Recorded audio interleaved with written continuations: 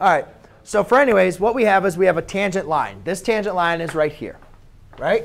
And we know that since this is tangent, we know it creates a 90 degree angle with the radii. Um, radii, radius. Right. So what we know, what we see here is, well, then can I determine if I know that this is tangent and that's perpendicular, can I determine what x is going to be? Well, yeah, of course you can. You can set up, since it's a right angle, a part of a right triangle, we can create the Pythagorean theorem. So I can say 15 squared plus 5 squared equals x squared. 15 squared is 225 plus 25 equals x squared. Well, let's check.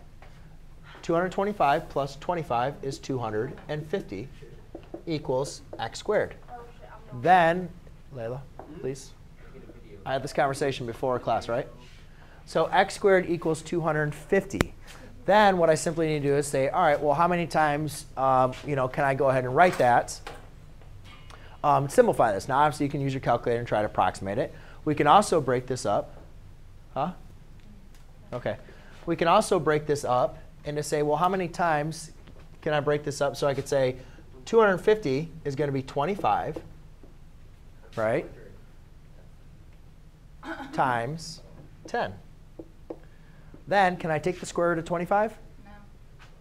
Can't you just like 5 times 5 is 5. Square root of 10 equals x. So that would be the simplified version. If you do, if you plug in 5 times the square root of 10, you would get the exact same thing as the square root of 250.